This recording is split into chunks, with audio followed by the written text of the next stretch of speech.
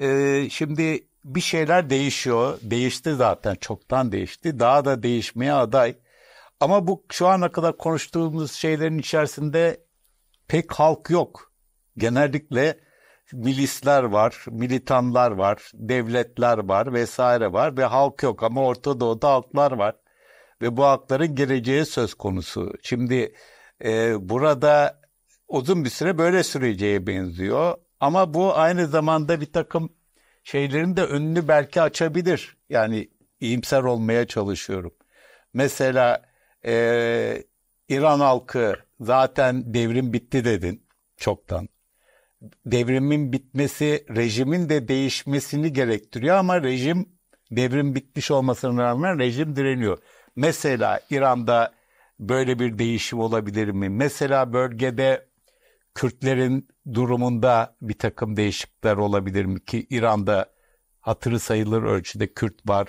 Bir şekilde bu olayda çok adı anılmıyor ama Irak da bu olayın bir şekilde içinde. Suriye'de bir olayın e, bir şekilde içinde. Bu arada parantez içinde Esad çok fazla topa girmiyor değil mi? Esad o, topa girmiyor. Topa evet. da girmiyor. Ee, Irak hükümeti mümkün olduğu kadar toptan uzak kalmaya çalışıyor.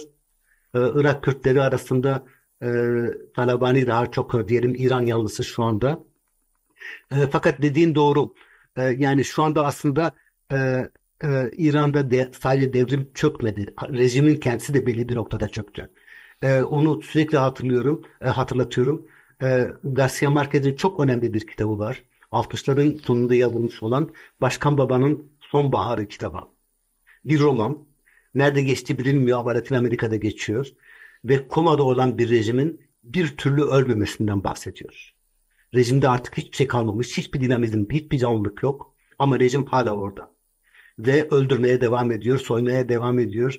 Klep, kleptokratik bir niteliğe sahip olan bir rejim. Ve şu anda İran'dan bahsettiğimiz zaman aslında sürekli aklıma gelen bu başkan babanın sonbaharı. Kuma'daki bir rejim. Bu Kuma'daki rejim hala işlemeye devam ediyor.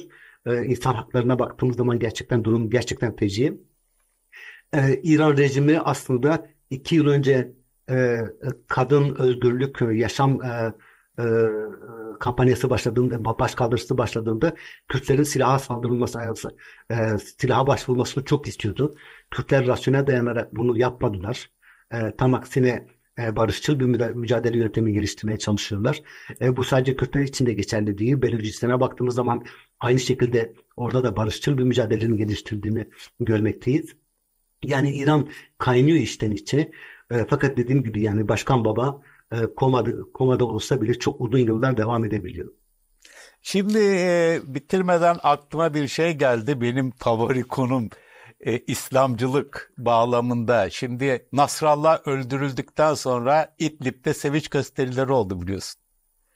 Bu e, belli bir tarihten sonra yaşanan bir olay. Yoksa olacak bir şey değildi. Bir de böyle bir durumla karşı karşıyayız. Yani özellikle Suriye İç Savaşı'ndan sonra dünyadaki İslami hareketler de mezhep meselesi çok ciddi bir şekilde öne çıktı. Ve İran'da e, Şiiliği, İran'ın Şiiliği daha fazla öne çıktı ve bayağı bir yalnızlaştı. Yani zaten İran'ın yanında bir devlet yok açıkça değil mi? Var mı? Herhangi bir şekilde İran'ın müttefiki olan bir devlet söyleyebiliyor muyuz? Rusya var. Rusya ve Venezuela var. Bir yere kadar ama o da. Bir yere mi? kadar. Yok onun dışında Rusya'nın e, İran'ın destekçileri yani İran'ın aslında Orta Doğu'da milis diplomasisi dışında hiçbir diplomasisi olmadı. Ve hiçbir zaman olmadı.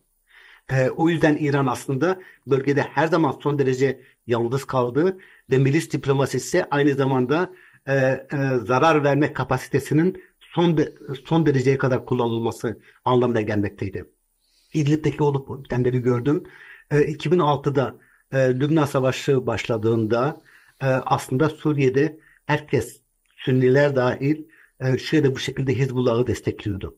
Şu anda durum kesinlikle bu değil. E, çünkü 2013'te El Kuseyr'in e, alınması Hizbullah sayesinde mümkün olabildi. Hizbullah e, Suriye'deki başkaldırının edilmesinde en önemli rollerden birini gören e, rollerden birini gören bir aktör olarak ortaya çıkmakta. E, ve sivil çığlıkları aslında sadece İdlib'de duyulmuyor. E, yani Lübnan'a baktığımız zaman e, Lübnan'ın Fransa dilindeki gazetesini Lorient Nuzul'u her bir okuyorum. Oradaki okur yorumlarına bakmak gerekiyor. Bu okur yorumlarında aslında birçok kişi e, Nasrallah'ın öldürülmesini kutladı. E, Lübnan'ın bugün koşullarında e, böyle bir olay yaşanmaktaydı. E, yaşanmakta. E, tabii Hizbullah'ın da kalkıp bir e, kendi tarihini sorgulaması, e, kendi vicdanını sorgulaması bir zorun bir zorunluluk. E, e, Suriye Savaşı'nda, e, Suriye e, devrimi sırasında kalkıp e, Başar el-Asad'ın işbirlikçisi olmak, onun paralı askeri olarak e, görev yapmak e, vicdanen nasıl kabul edilebilir? Bu soruyu Hizbullah'ın kendisine sorması gerekiyor.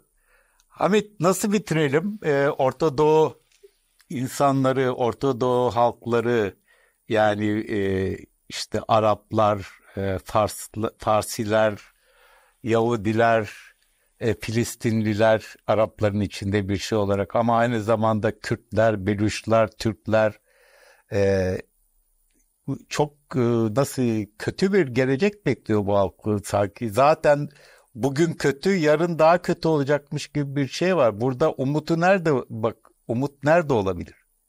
Umut ancak ancak bir vicdani sıçrayışta olabilir. Ee, bu vicdani sıçrayışın İsrail'de gerçekleşmesi gerekiyor her şeyden önce. İsrail toplumunda böyle bir vicdani sıçrayış sorumluluğu. E, fakat bu aynı zamanda Türkiye için geçerli, bu aynı zamanda İran için geçerli.